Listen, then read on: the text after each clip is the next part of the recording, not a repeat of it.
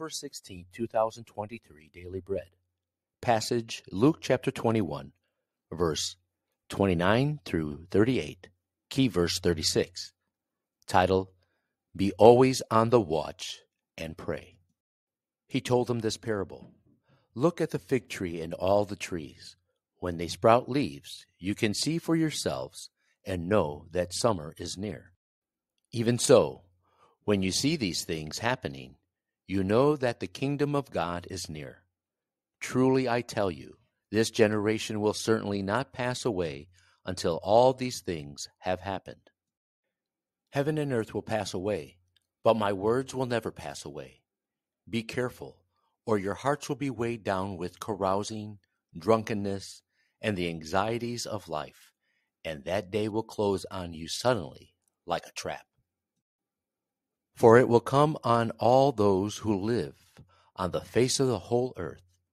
Be always on the watch and pray that you may be able to escape all that is about to happen, and that you may be able to stand before the Son of Man.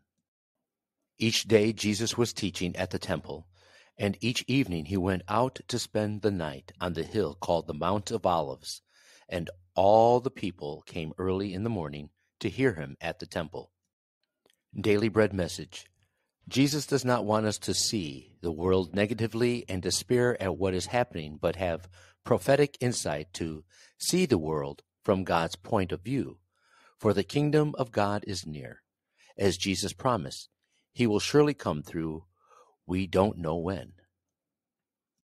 So we must be careful not to let our hearts be weighed down by anxiety of life and fleeting pleasures of the world for the day will come suddenly like a trap.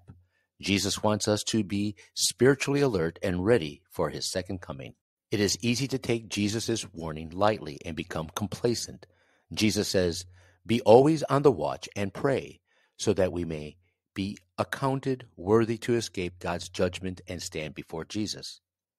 Jesus spent his last days by teaching the word at the temple every day and spent the night on the Mount of Olives. People came to the temple early in the morning to hear the Word of God from Jesus. Learning the Word of God like the people and teaching the Word of God like Jesus can be an effective way to watch and pray as we wait for the second coming of our Lord Jesus Christ. Learning and teaching the Word of God enables us to stand before Jesus by overcoming the world. Prayer. Lord, grant us spiritual insight to see the world from God's point of view and enable us to watch and pray, waiting for our Lord's second coming. One word watch and pray.